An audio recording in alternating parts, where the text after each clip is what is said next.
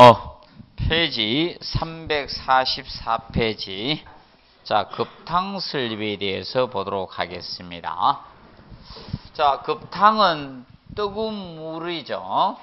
뜨거운 물. 보통 사람은 뜨겁다 찹다를 인체 온도를 기준으로 잡죠. 어, 인체 온도보다 낮으면 차갑다고 느끼고 인체 온도보다 높으면 뜨겁다고 느낍니다. 그래서 여러분들 냉탕 온도가 몇 도씨 정도 될 것 같습니까? 냉탕 관심 없이 안 봤죠? 예? 몇도 정도 될 것 같아요? 냉탕 온도가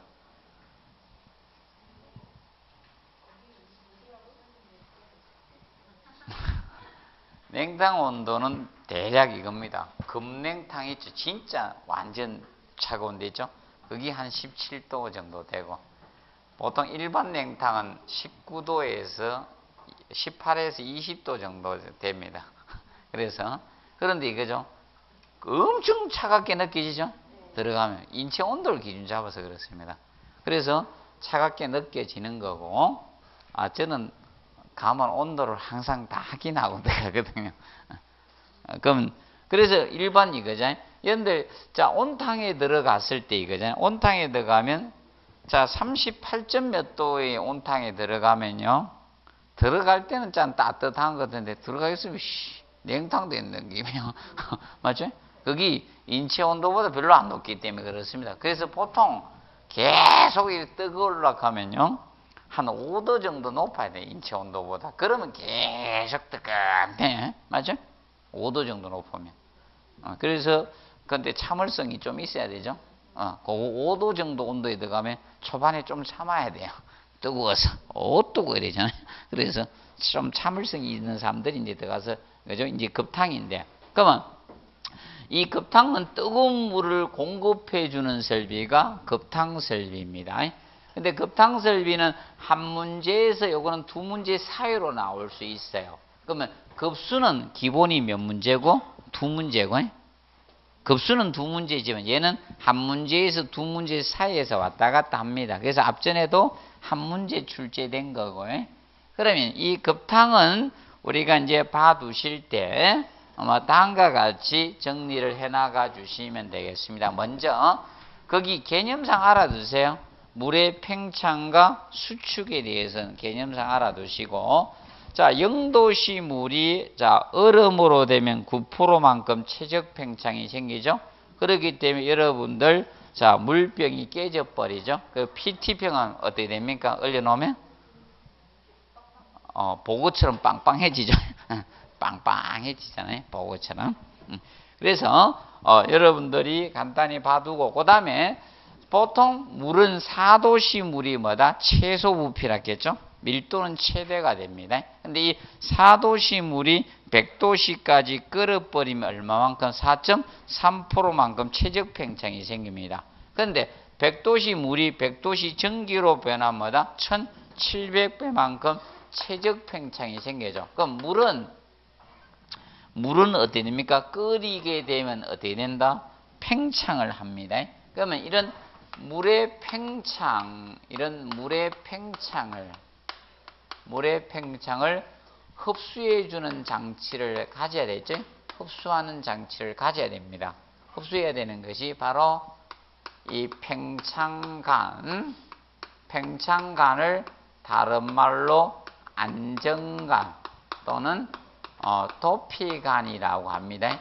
이상 압력을 높이신다. 도피간. 그죠? 이 팽창간하고 팽창 탱크를 설치하는 거예요. 팽창 탱크. 물의 팽창을 갖다가 흡수하기 위해서 이것을 설계를 합니다. 그래서 얘들이 바로 뭐다? 안전장치에 속합니다. 안전장치입니다. 간략히 알아두시고 그 다음에 밑에 보시면 열량과 관련돼서 자 그럼 열량에 우리가 보통 단위는 무엇을 쓰는가 하면 단위는 어, 과거에는 이것을 썼고 단위는 과거에는 어, 칼로리를 썼죠? 칼로리. 키로 칼로리를 썼습니다. 그런데 현재는 줄 단위를 쓰고 있습니다. 현재는 줄. 그래서 줄 단위를 씁니다. 이거는 칼로리 단위는 옛날에 썼던 거고. 근데 어, 킬로그램이면 킬로줄 개념이 되겠죠. 킬로줄. 그럼 대략 1kcal가 가그의 1kcal가 얼마 되는가 하면 4.1868kJ 개념이 됩니다. 약 4.2로 보시면 됩니다. 그래서 어 그래서 우리가 열량 계산식을 자 우리가 여기에서 일단 하나만 딱 합니다. 계산식은 열량은 열량은 질량에다가 곱하기 그 물질의 비열 곱하기 온도 차이를 해주면 온도 차 이것이 열량을 구하는 식이에요. 질량에다가 곱하기 비열 곱하기 온도 차이 하면 이것이 어, 열량을 구하는 식이 돼요. 자, 간단히 이겁니다. 물, 자, 10, 10리터를 자, 10도씨 물 10리터를 갖다가 50도씨까지 데우는 거하고, 맞죠? 물 100리터를 100도씨까지 데우는 건 틀려지죠? 틀려집니다. 그래서 어, 질량에다가 비열에다가 온도 차이를 곱해 주시면 그것이 뭐다? 열량이야. 이게 가장 기초식입니다. 기초식. 기초식입니다. 요 개념을 알아두시고 그 다음에 345페이지 보면 급탕 온도가 나와요. 자, 급탕 표준 온도는, 급탕 표준 온도는 60에서 70도씨 사이로 합니다. 자, 왜 그런가 하면, 자, 우리가 아파트나 이런 급탕을 공급할 때 온도가 높아야 될 이유가 전혀 없습니다. 맞죠? 높아야 될 이유가 전혀 없어요. 이 정도만 공급해주면 충분히 된다는 게. 그러면 주방에 싱크대에 뜨거운 물 쓰고 목욕하면서 뜨거운 물 쓰고 맞죠? 세면을 쓰는데 그럼 섞어서 쓰죠? 그런데 여러분들 아이고 60에서 70도에서 잘 안 쓰죠? 저 뜨거워서 어떻게 하려고요? 아 우리 먹는 물의 온도가 어느 정도 온도인가 하면 먹는 물 뜨거운 물 온수에 나오는 게 있죠? 온수기에서 그 나오는다 50에서 55도씨 정도 돼. 뜨거운 물이. 그래서 그걸로 먹으면 라면이 별로 맛 없어. 55도 정도밖에 안 되니까. 근데 저 있죠? 편의점에 가서 라면을 먹으면 좀 더 맛있죠? 걔는 100도에 가깝거든. 90몇 도 해놓거든. 아, 님들 관심 없어서 안 봤죠? 아, 편의점에 가면 온도가 있죠? 100도는 안 해놔요. 100도까지는. 90 몇 도에 놨습니다.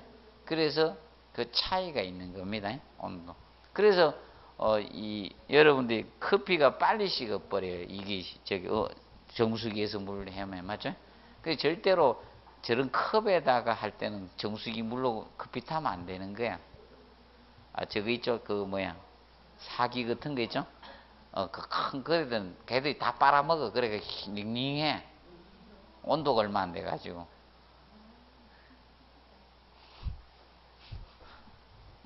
어, 그냥 막 다셨구나. 그래서 종이컵에 탈 때는 좀 괜찮아도 어, 조금 열을 다 뺏어 먹기 때문에. 그래서 저는 될 수 있으면 종이컵에다가 가잖아. 어디 가서 자꾸 어디 타줄라 해. 어디 왔다고. 와, 뭐, 다시, 아니면 컵을 데워가지고 주든지, 맞죠? 컵을 데워가 타줘야 돼, 이제. 그, 분명히 정수기 곱고 닦아, 따라가 갖다 주거든. 하나도 안 뜨고, 씨. 그런 경우 있어요. 예. 그래서 급탕 표준 온도가 60에서 70도시고 또 이겁니다. 물의 온도가 10도씨가 상승되면 배관 부식은 두 배나 빨라져요. 그래서 물을 뜨겁게 하면요. 급탕 배관의 수명이 더욱더 어떻게 짧아진다는 거예요. 그래서 대략 60에서 70도씨로만 공급을 해주고 있는 거예요. 그래서 보시고. 근데 여러분들 난방 있죠? 난방은 온도를 더 낮게 공급해요. 높게 공급 안 해줍니다. 여러분들 보통 어, 여러분들 할 때 있죠? 일반적으로 그 중앙 집중 해가 공급할 때 있죠? 아파트에 공급해 준 온도가 50도 전후예요. 안 높아요. 난방수. 뜨거운 거 그렇게 뜨겁게 안 넣어줍니다. 만약에 100도씨를 넣어줬다. 그럼 팔딱팔딱 뛰어야 되는데 방바닥이 뜨거워 너무 은은하게 뜨뜻해야 되는데 그래서 한 50도씨 정도밖에 안 넣어줘요. 공급할 때. 이렇게 보시면 되고 그리고 그래서 2번 봐 주택 아파트 1인 1일당 급탕량이 75에서 150리터 정도 써요. 1인당 대략 그 정도로 씁니다.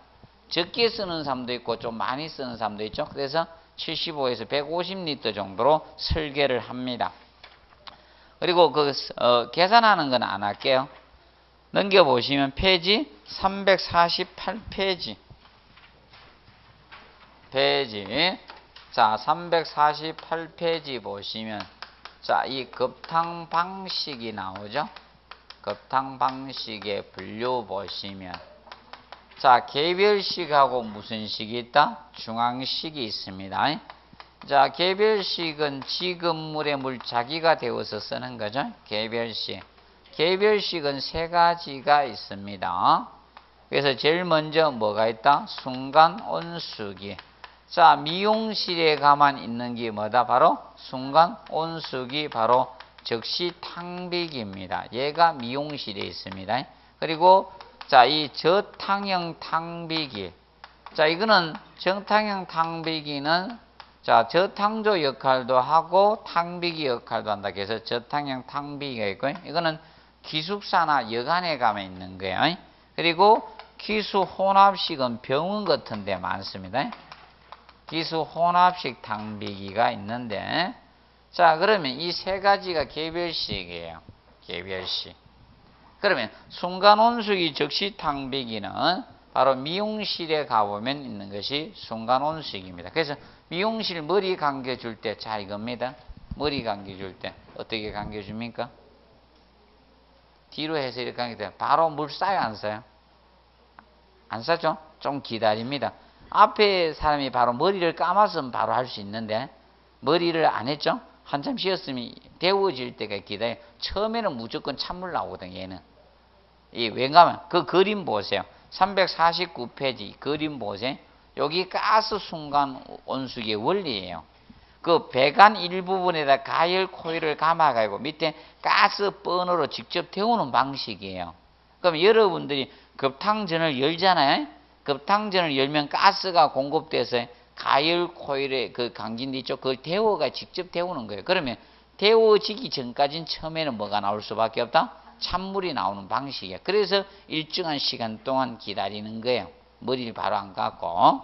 음. 그래서 이것이 어, 순간 온수기입니다. 그런데 순간 온수기는 여러분들 저기 봐요. 페이지 348페이지 보면 거기 기억에 급탄간 일부를 가스나 전기로 가열 직접 온수를 얻는 방법이에요. 그런데 전기 순간 온수기가 있고 가스 순간 온수기가 있어요. 자, 그럼 여기에서 자, 이렇게 됩니다. 가스 순간 온수기가 작아요. 어, 전기 순간 온수기는 좀 커요. 왜냐 전기는 순간적으로 데우기가 힘들거든요. 그러니까 약간의 저장을 합니다. 물을 데워가지고. 그런데 가스는 바로 데워버립니다. 그래서 가스가 쪼맣해요. 설치 장소가 적어도 됩니다. 근데 가스를 사용하게 되면 뭔가 뭘 빼야 돼요? 연기가 매연이 생기겠죠? 아, 여러분들 연소 가스가 생길 거 아닙니까? 맞죠? 그 그걸 빨아내야 돼요. 그게 뭐가 있습니까? 연통 같은 게 있죠? 그래서 여기 전부 다 이거잖아. 거의 대부분이 오피스텔 보면 그러면 오피스텔의 평수가 커요, 작아요? 작죠? 그럼 순간 온수기 좀 가스를 설치할까요? 전기 설치할까요? 가스인 거야. 그래서 다 이게 하나씩 나오잖아. 아이, 연소 가스 빼내기 위해서 있죠? 아, 오피스텔 관심이 없어서 안 바라봤구나. 오피스텔 딱 보면 여기 여기 오피스 있죠? 보면 이 가스 이 연통 다 나와 있어요. 뭐가 하나씩 툭툭 튀어나온 거 있죠? 그거 가스 그 빨아내야죠. 아니면 주식사 해가 죽을래요? 탄산가스가 실내로 다 들어오면 안 되죠? 빨아내는 게 있는 거예요. 그거 있는 겁니다. 그래서 보시고, 그래서 여러분들이 이겁니다. 근데 이 전기 순간 온수기는 그래서 이제, 어, 좀 주의할 거, 이 순간 온수기를 이제 총 같은 데 설치해 주면요. 이걸 꼭 아셔야 돼. 어, 너무 추운 데 설치해주면 안 돼요. 그래서 좀 따뜻한 데 설치해야 돼. 영하로 내려간 데 설치하면 잘못하면 폭발이 일어나요. 안에 을수 있다는 겁니다. 그래서 좀 주의하시고 그러면 가스 순간 온수기는 그래서 거기 체크하십시오. 디귿 가열 온도가 몇 도시? 60에서 70도씨예요. 60에서 70도씨. 왜 그런가 하면 자, 이거는 급탕전을 열어야지만 가스가 공급돼서 데웁니다. 그 물을 사용 안 하면 가스가 공급이 차단돼요. 그러면 가스본에 불을 안 켭니다. 그렇기 때문에 가열을 안 하고 있는 거예요. 그러면 가열된 물이 계속 빠지죠? 빠지고 있기 때문에 물이 온도가 안 올라갑니다. 최대 온도가 70도씨까지 밖에 안 올라가는 거예요. 그래서 요 개념입니다. 그리고 가스 공급 원리는 벤츄리간의 원리에서 되면 그래서 거기 349페이지 자 요거 보면서 체크하세요. 자 순간 온수기에 필요한 게 그 가열 코일 필요하죠? 제일 위에 제일 위에 보세요. 그림에 가열 코일이죠? 가열 코일은 가열 표면적을 넓히기 위해서 이 가열 코일을 설치한 거예요. 가열 표면적을 넓혀주기 위해서. 다음 중 순간 온수기, 즉시 탕비기와 관련 없는 것은 이렇게 그런 게 나올 수도 있어요. 그건 가열 코일 필요하고 여기서는 어, 바로 가열 표면적을 넓히기 위해서 그게 구리선으로 감은 거예요. 그리고 제일 좌측에 보시면 뭐 있습니까? pilot flame 나오죠. 이게 자동 점화 장치 역할을 합니다. 아, 거기 좌측, 제일 좌측에 pilot flame 써 있죠? 네. 파일럿 프레임이 이렇게 기둥이 하나가 이렇게 서 있잖아요. 이렇게. 이렇게 맞죠? 여기에 작은 불꽃이 이렇게 가스가 조금씩 이 작은 불꽃이 켜져 있거든. 아, 저는 봤거든요. 제가 순간온석기를 진짜 어떤 분이 고장 났다 해요. 아 부평 부평 국밥집 주인 아 거기 주인의 어머님이 잠시 와서 봐주고 있었어요. 딸 국밥집 아줌마가 잠시 바빠서 어디 가고 엄마나 오락해 잠깐 보고 있으라 했는데 어 그 설거지를 좀 하시려고 했는가 봐요. 물을 때 찬물이 나오니까 야 이거 산지 얼마 안 됐는데 고장 났다고 찬물 나온다고 이 온수기라 샀는데 찬물 나온다. 내가 가서 그래 봤거든.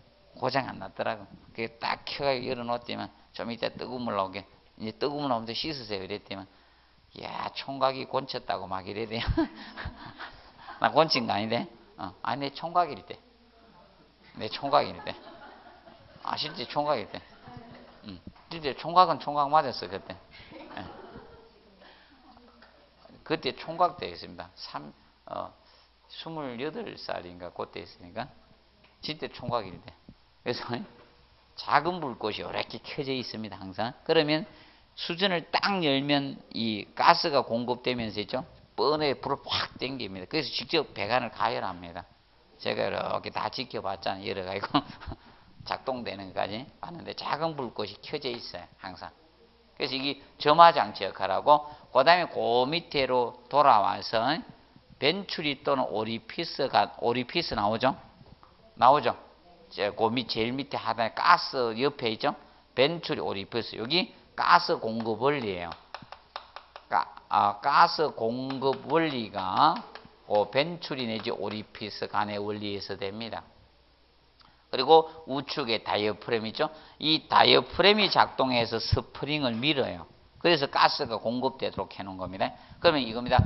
가열 코일, pilot flame, 그리고 벤츄리관, 그리고 다이어프램 이런 것이 뭐하고 관련되어 있다? 순간 온수기하고 관련되어 있습니다. 그럼 여기는 저거는 관계없어요. 순간 온수기에는 제발 이런 거 설치 안 해요. 순간 온수기는 여기에는 어, 팽창 탱크나 팽창관 있다 없다? 없어요. 그 그림이 없잖아요. 이거 설치 안 합니다. 팽창 탱크, 팽창관 설치 안 합니다. 그리고 자동 온도 조절기 없습니다. 서모스탯 없습니다. 설치 안 해요. 한번 정리하세요. 네. 스, 어, silencer, steam silencer도 없고. 네. 그리고 349페이지 저탕형 탕비기가 나옵니다. 저탕형 탕비기는 자 이겁니다. 얘는 저탕조하고 두개 역할을 동시에 한 게 탕비기 두 가지 역할을 동시에 한 거야. 역할을 동시에 하는 겁니다. 동시에 저탕조가 무엇을 저탕조라고 하면 온수를 저장하는 탱크야. 저탕조가 온수를 저장하는 탱크입니다. 그러면 이게 축소된 것이 저거라 보면 돼. 편의점에 있죠? 물 때우는 거. 그게 그게 굉장히 커지면 저탕형 탕비가 되는 거예요. 어, 요새는 이제 편의점에도 좀 이쁘장한 거 쪼mat한 거 갖다 놨죠? 옛날은 큼직한 거 갖다 놨었죠? 스테인레스로 되게 둥그런 거 갖다 놨잖아요. 거기 대땅 커지면 저탕형 탕비기예요. 그럼 걔는 어떻게 됩니까? 온도가 내려가면 자동으로 탁 태워져? 일정 온도가 딱 떨어지면 그럼 저장하고 있다가 뜨거운 물 저장하고 있다가 여러분들이 뭐 드시러 가시면 어, 컵라면 이런 거 드시러 가면 어, 제가 간혹 가 편의점에서 항상 몰래 먹고 가잖아요. 집에 가서 먹으면요. 하, 대 들어가야 안 돼요. 이야, 심각합니다. 얼마나 라면을 좋아하는지. 컵라면 먹고 좀 찌꺼기 남은 거 그거에 다 먹어치우는 우리 벌레들이 있습니다. 라면이면 사죽을 못 씁니다. 뭐 먹어갈래? 라면 먹을래? 라면 먹는데. 고기 싫어해. 라면 좋아해. 맞죠? 그래서 어, 이 그거 생각하면 돼. 그것이 뭐다? 저탕형 탕비기예요. 그럼 저탕형 탕비기는 꼭 체크하세요. 많은 온수를 일시에 필요로 하는 곳에 적당하다. 많은 온수를 어, 일시에 사용하는 거죠. 일시에 사용하는 거죠. 그래서 거기가 어딘가 하면 기숙사 같은데 기숙사나 여관 이런 데는 일시에 다량의 온수를 사용하거든. 이럴 때 쓰는 것이 자 됩니다. 저탕 탕비유. 그런데 이 저탕 탕비기는 뭐가 필요합니까? 온도 내려가면 다시 데워야 됩니까? 안 데워야 돼요? 데워야 되죠? 그럼 저탕형 탕비기는 서모스탯이 필요한 거예요. 서모스탯 자동 온도 조절기가 필요합니다. 자동 온도 조절기 서모스탯이 필요해요. 서모스탯. 알아두시고 서모스탯 하면 저탕형 탕비기입니다. 저탕형 탕비기. 자 그리고 넘겨보시면 기수 혼합식 탕비는 개념 알아두세요. 기수 혼합식은 다른 게 아니라 여기 물탱크에 물이 있으면 여기에다 뭘 불어넣는다? 전기를 호합 전기를 불어넣어서 데우는 방식이에요. 호합 전기. 그래서 전기하고 물하고 그래서 물 숫자 기수 혼합식 탕비기에 전기를 불어넣어서 데우는 방식입니다. 전기를 데우는 그럼 여러분들 전기로 찐기 보통 떡이나 찐빵 이런 건 전기로 찌잖아요. 호빵 있죠? 호빵 전기로 찌잖아. 그러면 얘는 전기로 물 속에 전기를 불어넣어서 물을 데우는 방식이 뭐다? 기수 혼합식이야. 자, 그러면 여러분들 증기를 사용하게 되면 소음이 커질 수밖에 없죠. 그래서 디귿 체크하세요. 고압의 증기를 사용 소음이 큽니다. 그래서 소음을 줄이기 위해서 사용하는 게 뭐다? steam silencer. 그러면 기수 혼합식 탕비기 하면 이거 기억나셔야 돼. steam silencer. 이게 기억나시면 돼. 소음을 줄여주는 장치가 뭐다? steam silencer입니다. 소음을 어, 줄여주는 장치입니다. 이것이 steam silencer고요. 그 다음에 자 중앙식이 나오는데 자 중앙식 급탕법 지금 개별식을 했고요. 중앙식은 한 곳에 급탕 장치를 설치해서 배관에서 각 건물마다 공급해 주는 게 중앙식이죠. 그러면 중앙식은 어, 여러분 난방을 중앙 공급식으로 하면 거의 다 급탕도 뭐다? 중앙 공급식네. 그러면 보통 중앙 공급식 할 때 급탕은 뜨거운 물은 항상 사실사출 다 보내주고 있죠. 안 보내줄 때는 적습니다. 보일러 점검할 때 있죠. 아, 우리는 이제 보일러 점검을 항상 어느 때 했는가 하면 10월 달에 했거든요. 9월 말 내지 10월 달에 하다가 요걸 바가지로 얻어먹었는가 봐. 너희들은 왜 추울 때 인간들이 해가지고 우리 레밍이냐 그렇게 올해는 8월 달에 했는데 장마 때 했어. 그래 또 요거도 먹었을 그때 타이밍을 잘 못 맞춰가지고 어, 그래서 어느 때 제일 해주면 좋은 겁니까? 다들 휴가 떠날 때 있죠? 맞죠? 그때 딱 봐야 되는데 자기도 휴가 가야 되니까 그때 안 하는 거죠. 그래서 할때 장마 때가 올해도 요거도 먹었을 때 느낌이. 자, 그래서 이 중앙식의 경우는 자, 알아두실 것이 자 이겁니다. 거기 직접 가열식하고 뭐가 나옵니까? 간접 가열식이 나옵니다. 직접 가열식과 간접 가열식. 직접 가열식하고 간접 가열식의 차이점은 무엇인가? 바로 다른 거 아니죠? 직접 가열식하고 간접 가열식의 차이점은 이겁니다. 직접 가열식은 가열 위치가 장소가 어디라는 겁니까? 온수 보일러예요. 그래서 어, 가열 위치의 개념이 차이가 있는 거죠. 그래서 얘는 가열 위치가 어, 가열 장소가 어디가 된다? 온수 보일러예요. 온수 보일러야. 근데 이거는 가열 장소가 어디가 되는가 하면 보일러가 아니고 뭐다? 저탕조예요. 저탕조는 원래 무엇입니까? 뜨거운 물을 저장해 놓는 탱크죠? 맞죠? 온수를 저장한 탱크가 저탕조인데 저탕조에서 가열합니다.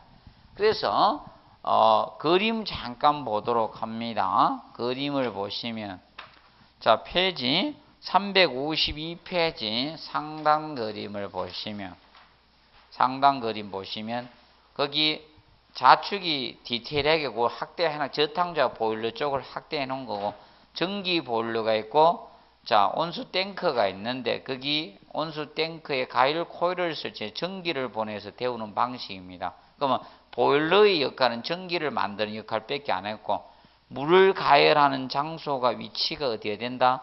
저 탕조에서 가열을 합니다. 그래서 이 방의 가열 장소가 얘는 저 탕조고 이거는 어디가 된다? 온수 보일러에. 그래서 얘는 보일러에서 직접 가열했다 뭐다? 직접 가열시. 이거는 보일러의 역할이 그 물을 가열하는 위치는 아니었죠? 전기를 만들어서 공급해 주는 역할만 했다. 그래서 간접 가열시입니다. 그렇다 보니까 여러분들 물을 사용하게 되면 물 사용한 만큼 새로운 물이 공급돼야 돼야 안 돼야 돼요. 자, 여러분 급탕 자, 셀명 오늘 욕조 가서 샤워를 합니다. 뜨뜻한 물로. 그 온수는 샤워를 한 물은 어디로 내려가요? 배수관 타고 내려가죠. 되돌아 보일러에 되돌아갈까요? 보일러에 되돌아가면 어이구 그 보일러에 다시 가열하면 떼탕 되는데 맞죠? 그럼 구수한 맛 나? 맞죠? 안 됩니다. 그렇기 때문에 자, 이 보충수 공급이 어디냐? 이 보충수 공급이 예, 보충수 공급이 온수 보일러에 공급되는 거예요. 온수 보일러.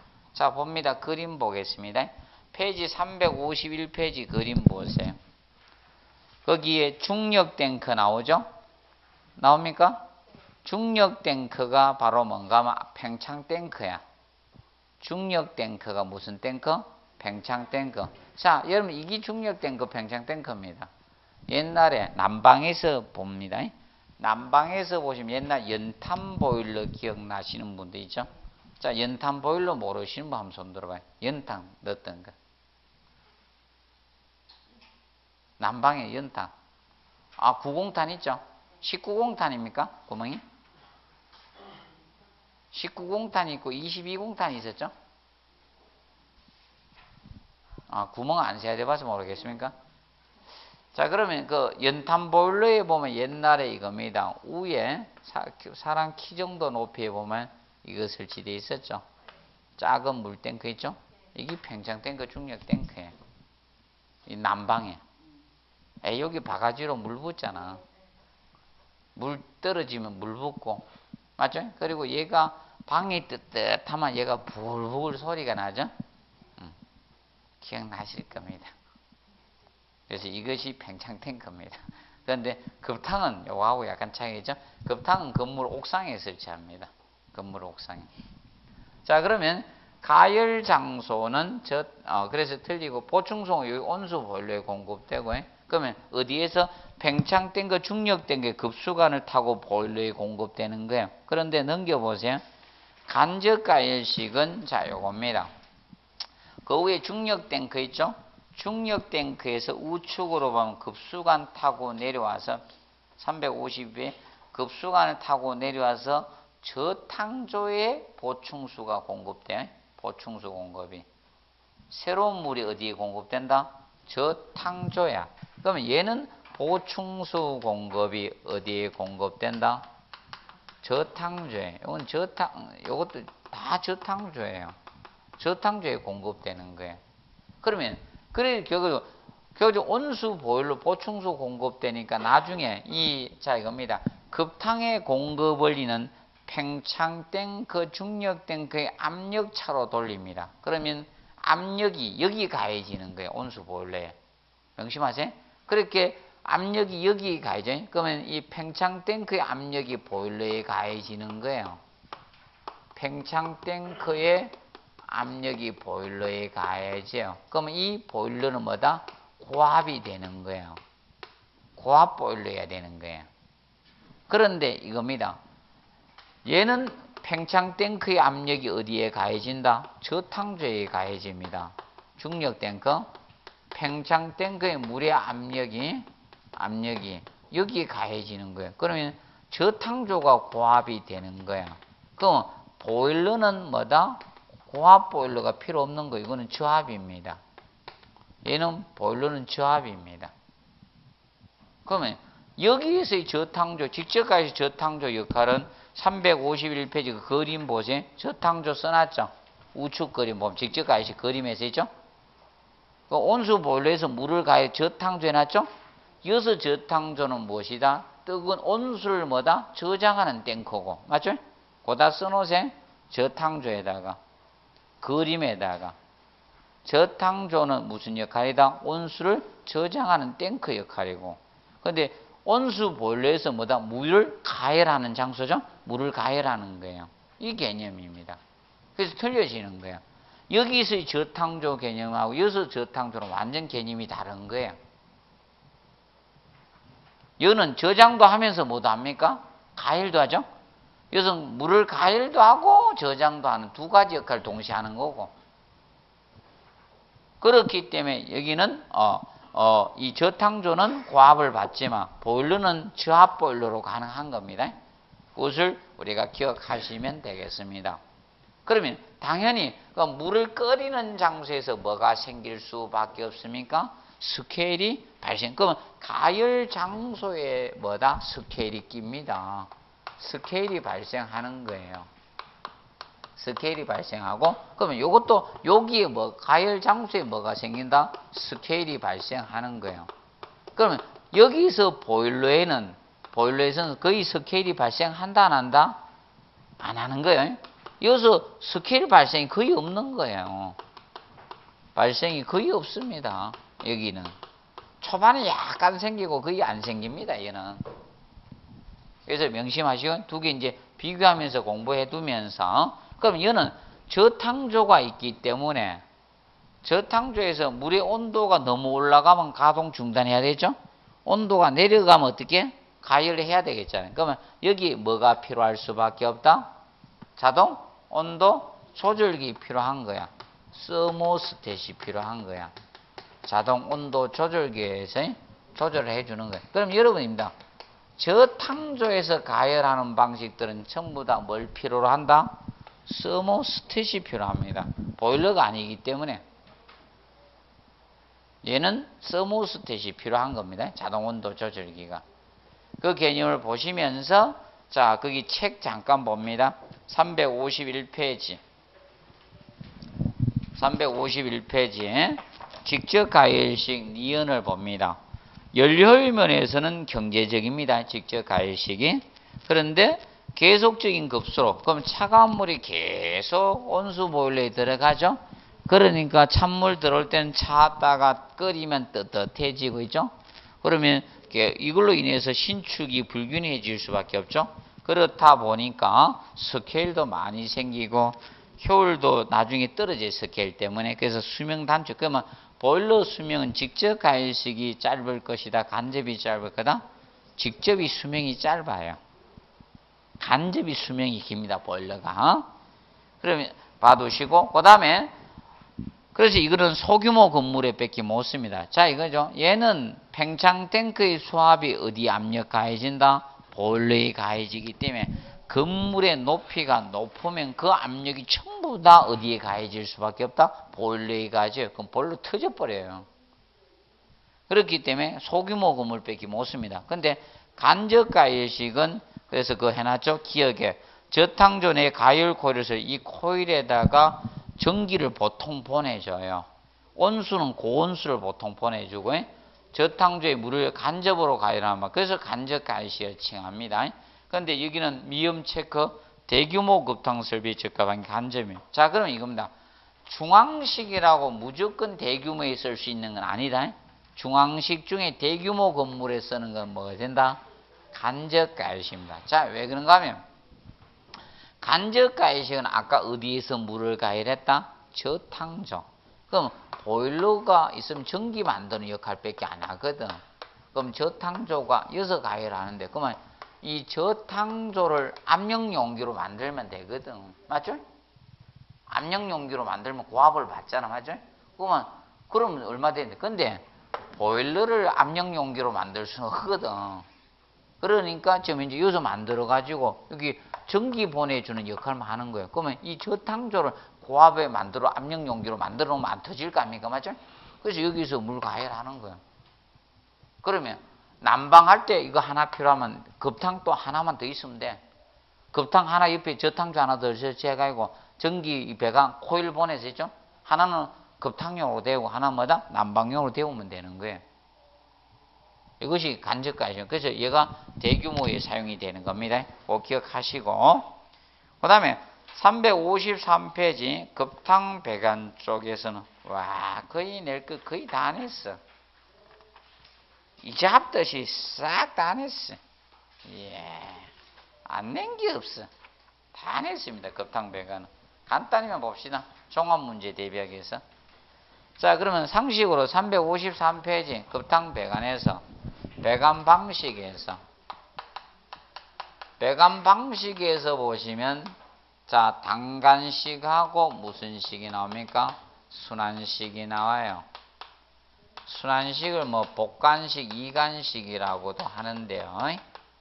그러면 단간식은 뭐만 설치한 거다? 공급값만 설계한 거야. 공급값만 자 배관한 거에 설치한 거고요.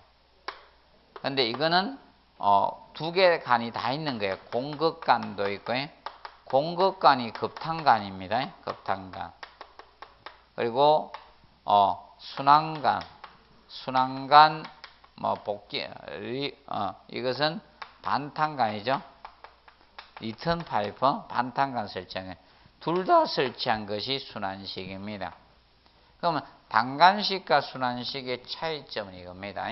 얘는 처 이거는 처음에 뭐 나올 수밖에 없다. 물 다 뺄 때까지 찬물 나요. 이건 찬물이 뭐 처음에 무조건 찬물 나와요. 처음에는 이 찬물이 무조건 나옵니다. 얘들은 배관에 물 다 뺄 때까지 찬물 나옵니다. 그런데 이 순환식은 저거라 보시면 돼요. 순환식은 여러분들 어, 초밥집으로 치면 해전 초밥집으로 생각하면 돼요. 단간식은 주문해가 초밥 가져오는 게 단간식이고 자, 이 순환식은 초, 해전 초밥집, 해, 초밥이 계속 돌고 있죠. 언제든지 빼먹을 수 있는 거야. 그러면 이 순환식, 복간식의 경우 공급관하고 리턴관에서 물을 돌리고 있다는 거예요. 공급을 안 쓰면 식으면 다시 되돌아오고 이제 다시 데워가 보내고 이렇게 돌리고 있는 거예요. 그러면 항상 언제 필요에 따라 빼쓰라는 겁니다. 그러면 이 수환식 복관식은 이거는 어, 목적은 사실 이거죠. 항상 무엇을 사용하시다? 온수. 항상 온수를 사용할 수 있는 게 바로 순환식 복관식입니다. 그러면 당연히 비용은 누가 비쌀 수밖에 없다? 순환식이 비쌉니다. 순환식이 비쌉니다. 단식이 비싸고요. 자, 그런데 이 단간식과 순환식 중에 요거는 배관 길이가 짧을 때 씁니다. 배관 길이가 15m 이하일 때 쓰는 거예요. 짧을 때. 그러면 배관 길이가 길어지면 뭘 쓴다? 순환식, 복관식을 씁니다. 배관 길이가 15m 이상일 때 쓰는 법이고. 그러면 자, 소규모 건물에 뭘 쓸 거다? 단관식 쓰고 복관식은 순환식마다 대규모. 그래서 이건 소규모 건물 쪽에 쓰고요. 얘가 대규모 건물 쪽에 씁니다. 대규모. 순환식을 쓰게 됩니다. 간단히. 그러면 순환식은 공급관과 순환관을 동시에 갖는 건 어, 리턴 파이프를 갖는 겁니다. 이것이 뭐다? 순환식. 그래서 구분해 두시고요. 그 다음에 순환 방식에서 중력식하고 뭐가 있다? 강제식이 있습니다. 그러면 중력식은 이걸 중력식이라고 합니다. 중력식의 개념은 얘는 중력식은 물의 밀도 차이, 온도 차이를 이용해서 순환을 시키는 걸 중력식이고 강제식은 순환 펌프로 어, 순환을 시키는 겁니다. 순환 펌프를 활용하는 겁니다. 급탕 순환 펌프를 설치해서 하는 게 무엇이다? 어, 바로 강제식, 강제, 그래서 강제식이 됩니다. 그러면 둘 중에 사실 누가 더 순환 속도는 빠를까요? 누가? 강제식이 빠르겠죠? 순환 펌프를 사용하니까. 아, 그래서 여러분들 알아두실 거는 그러면 그 순환, 순환 펌프에 대해서 간략히 보도록 하겠습니다. 순환 펌프. 자, 순환 펌프는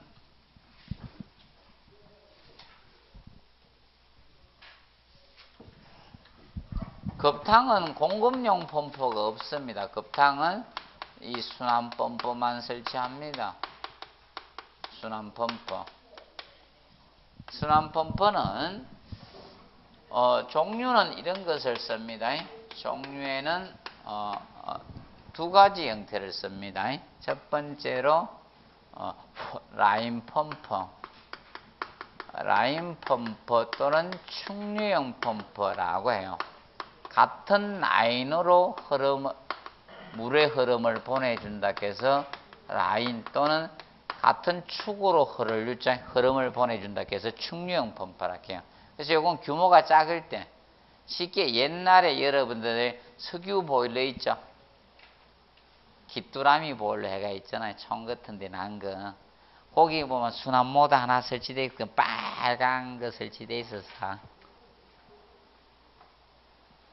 어, 주택, 주택이 바로 아파트에 사셨어요, 여러분들? 옛날 주택에 옛날 석유 보일러 있었죠? 거의 기뚜라미하고 뭐 경동하고 뭐 몇 군데 있었잖아요. 거기 바로 라인 펌프였어요. LG 산전에서 나왔었어.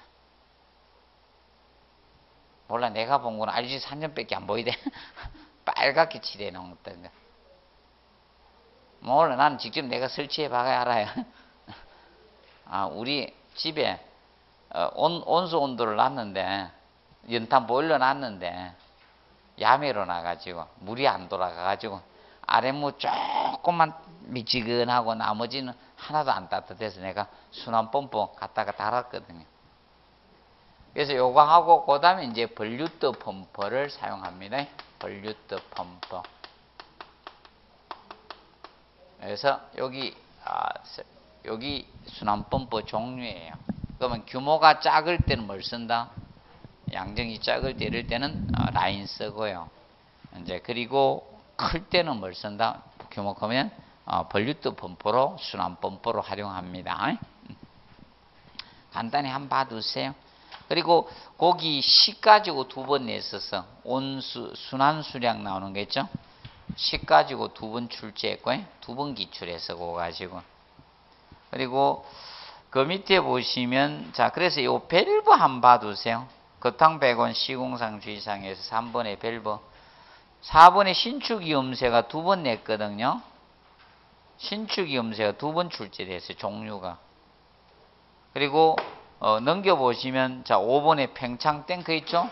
팽창 탱크가 제일 많이 냈으면 세번 냈습니다. 얘는 팽창 탱크 관련 팽창관하고 이 세 번 냈고 밑에 수압 시험 한 번 냈습니다. 6번.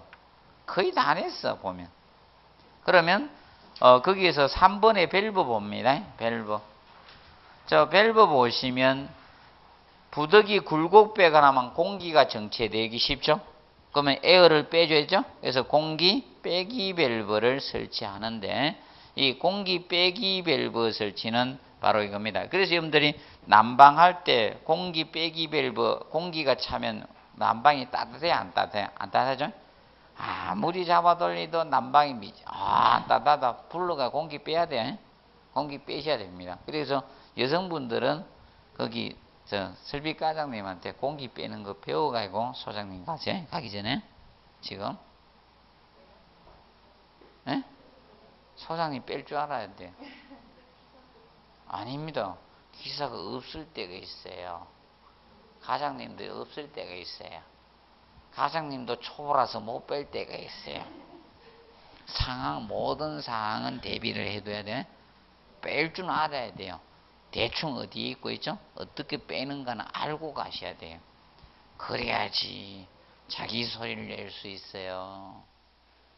몰라도 알아는 다 하기 안 해도 알고 있어야 되는 게 소장님들입니다. 거기 병심하세요. 그냥 가지 마세요. 그러면 그렇지 뭐 이렇게 취급받아요. 취급 안 받기 위해서는 다 알고 가세요. 그래서 안 그래도 저번에 여성 소장님 취업해가지고 아, 설계 도면도 없는 아파트에 가셨어. 오래된 아파트라서 도면 없어 이러니까 도면이 뭐고 아무것도 없습니다. 도면도 없대.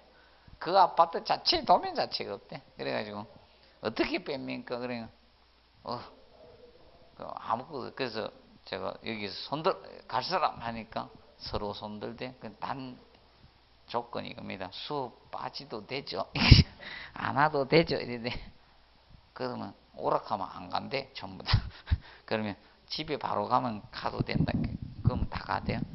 그래서 갈라고 해서 한 번 보냈는데 가니까 진짜 오래돼 야매로 건물 지었대요. 공기 빼기 밸브도 없더래. 없어가지고 야, 어, 편법으로 빼고 왔다 가대. 완전 엉망진창인 건물도 있다는 겁니다. 음. 특히 건물이 동이 작은 데 있죠. 네, 그런 데는 그렇게 돼 있답니다. 도면도 없고 뭐 아무것도 설치 안 해. 빼기 있어야 되는데 없대요. 음, 그런 경우 있습니다. 그리고 보시고 그 다음에 배관 도중에 무슨 밸브? 슬루스 밸브 체크하세요. 어, 게이트 밸브 같죠. 설명을 해. 그 스톱 밸브 사용하면 안 돼. 자, 이 스톱 밸브가 물을 뭐 한다? 스톱시킨다. 어, 물을 단수시킨다는 거예요. 스톱 밸브. 그래서 이걸 글로브 밸브라 하죠. 영어로 글로브 밸브. 그래서 급탕 배관 도중에는 이거 사용하면 안 됩니다. 급탕 배관 도중에는 도중에는 어, 자 이걸 사용을 금합니다. 스톱 밸브 사용을 자 금지합니다. 금합니다. 스톱 밸브 사용을 금합니다. 배관, 급탕 배관 도중에는 이것이 마찰 손실이 가장 큰 밸브입니다. 그래서 저항을 금한다는 것, 설치를 금하고 있습니다. 슬루스 밸브, 게이트 밸브 사용을 해 주셔야 됩니다. 그거 보고 그 다음에 356페이지 팽창간 팽창 탱크가 나와요. 얘가 무엇이다? 안전장치예요. 그래서 얘가 제일 많이 나온 거예요. 안전장치이기 때문에. 그러면 이 급탕, 자, 1번 냈고 3번을 냈거든요. 그리고 종합적으로 냈고. 그래서 2번을 알아두세요. 2번. 2번이 남았습니다. 팽창간의 도중에는 절대 밸브를, 아니, 그게 아니고 2번이 급탕간, 급탕 뭐다? 수직간. 급탕 수직간을 연장해서 합니다. 급탕 수직간. 수직간을 뭐라고 한다? 입간이라고도 합니다. 급탕 수직간을 갖다가 연장해서 팽창간으로 합니다. 연장하여 팽창간으로 합니다. 그래서 결과적으로 이 말은 자 연장한다 써놓으세 강경 축소 없이 연장합니다. 강경 축소 없이 그래서 그러니까 급탕 수직간하고 팽창간하고 뭐다? 간경이 동일하다는 거예요. 누가 간경이 크다 하면 안 됩니다. 간경이 동일하다는 개념 명심하세요. 똑같은 간경을 그대로 뽑아야 돼요. 이상 압력을 도피시켜 주기 때문에 그래서 팽창간은 명심하세요. 급탕 수직간을 그대로 연장해야 됩니다. 간경 축소 있다 없다? 없다는 것을 꼭 명심하시기 바랍니다. 그대로 연장해서 해줘야 됩니다. 그리고 6번에 수합시험 나옵니다. 수합시험은 이것만 개념 잡으십시오. 자, 배관공사가 완료가 되면, 배관공사 완료가 되면, 뭐부터 한다? 수합시험을 먼저 해야 돼요. 수합시험을 하고, 피복공사는 들어가야 돼. 피복공사 진행을 해야 돼요. 전후의 개념만 정확히 알아두시면 되겠습니다.